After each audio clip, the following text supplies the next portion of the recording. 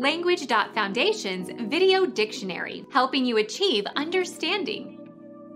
Research that gathers and analyzes information about the moving of good or services from producer to consumer. Market research.